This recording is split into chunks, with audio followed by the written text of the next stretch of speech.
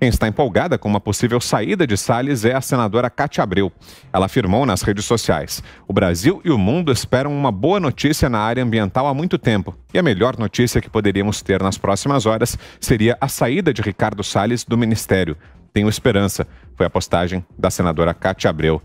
E aí, Zé, será que pode ser aceito? Há risco de que seja aceito esse pedido aí movido pelo PT para tentar tirar do cargo o ministro do Meio Ambiente, Zé?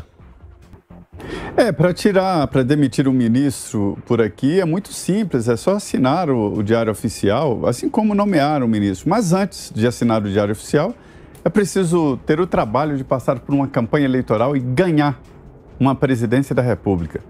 O presidente Jair Bolsonaro, Bolsonaro disse ontem aqui, né, na live, de que eu, ele é um ministro excepcional. E eu sempre repito aqui de que o Ricardo Salles não tem uma política ambiental, não é dele. O governo do presidente Jair Bolsonaro, todo o governo, tem uma política ambiental e do agronegócio e andam juntos. Houve um momento, inclusive, que havia um projeto para unificar as duas pastas. Eu acho que é possível fazer isso. O agricultor tem que ser e é o melhor amigo do meio ambiente da terra, porque se não houver qualidade de terra, não há produção.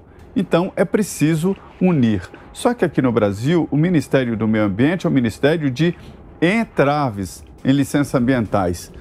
Para se duplicar, não é construir uma nova, não. Para se duplicar uma rodovia, só a licença ambiental demorava lá para 10 anos. Eu sei de casos aqui de que para abrir uma micro, uma micro geradora de energia, a licença leva seis anos. Em seis anos dá para mudar a matriz energética de um país, quer dizer, não é possível. E esta agilidade do Ministério acabou incomodando muita gente.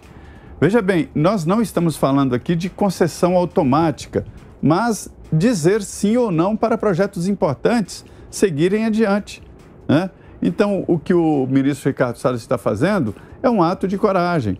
Eu perguntei a ele aqui sobre os processos, né? Eu é, é, desconfiava de que existiam outros processos que estavam iniciando. Ele vai sair do governo com a fila enorme de, de processos exatamente por esse cerco judicial. E não adianta o PT se animar, porque o Alexandre de Moraes já analisou o pedido de afastamento dele e negou à Polícia Federal.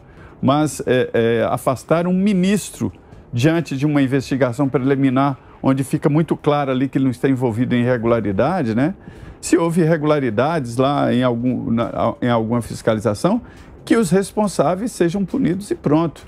Agora, o PT, né? Tirar um ministro aqui da esplanada, desnomear um ministro do presidente Jair Bolsonaro, aí é o fim do mundo, né? Aí ele poderá também ir à justiça para pedir para nomear o, o Zequinha Sarney ou outro indicado pelo PT.